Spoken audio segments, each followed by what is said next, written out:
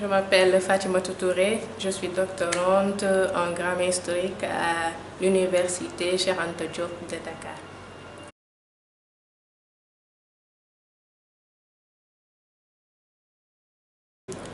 Euh, la science ouverte peut vraiment nous aider à avancer dans nos recherches, surtout qu'on a des problèmes vraiment à accéder à certaines informations qui surtout, euh, particulièrement moi, en grammaire historique par exemple, j'ai énormément de difficultés à avoir euh, comment dire, des informations euh, sur le latin par exemple, l'ancien français, le moyen français, etc.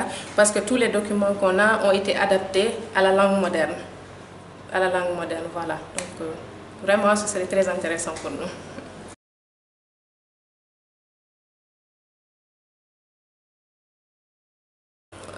L'échange, surtout l'échange, vraiment, c'est très, très, intéressant parce que c'est par l'échange qu'on apprend beaucoup de choses et aussi qu'on a une nouvelle vision euh, de la recherche. Voilà.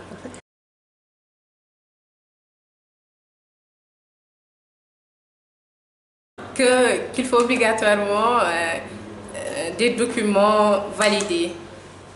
Oui, parce qu'avant, on aimerait bien échanger, avant même d'envoyer ça, avant même que ça soit validé, qu'on ait l'avis de nos, de, nos, de, de, de, nos camarades, on va dire, etc.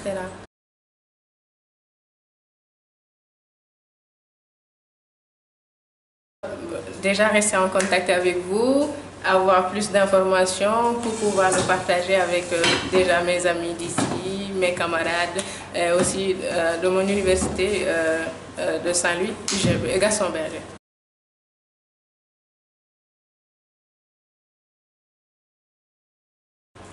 Oui, puisque ça nous permet d'avancer dans la recherche, de découvrir de nouvelles choses.